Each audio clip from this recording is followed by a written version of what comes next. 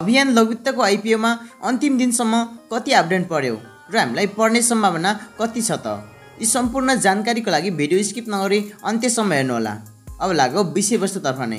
अभियान लघुवित्त वित्तीय संस्था लिमिटेडले साउन अठार गतेदेखि निष्कासन गरेको सेयरमा करिब चौबिस गुणा बढी अपडेट परेको छ।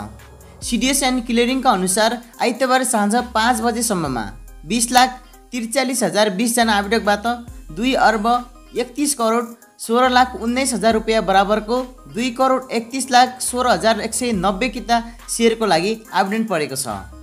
यो लघुवित्तले निष्कासन गरेको कुल नौ लाख पचहत्तर हजार किता सेयरको तेइस पोइन्ट सात जिरो गुणा बढी हुन आउँछ।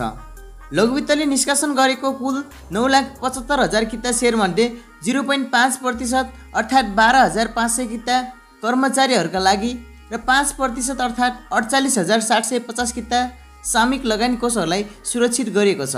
भने बाँकी नौ लाख तेह्र हजार सात सय पचास किता सेयर सर्वसाधारणको लागि बाँडफाँड हुनेछ। लघुवित्तको आइपिओमा मागभन्दा बढी आवेदन परेकोले धितोपत्र निष्कासन तथा बाँडफाँड निर्देशिका अनुसार गोला प्रथाबाट न्यूनतम दस किताको दरले सेयर वितरण हुनेछ। त्यसअनुसार एकानब्बे हजार तिन सय पचहत्तरजनाले मात्रै सेयर पाउनेछन् हाल लघुवित्तको चुक्ता बुझे पन्ध्र करोड पच्चिस लाख रुपियाँ छ भने आइपिओ बाँडफाँड पश्चात लघुवित्तको चुक्ता बुझी पच्चिस करोड रुपियाँ पुग्नेछ।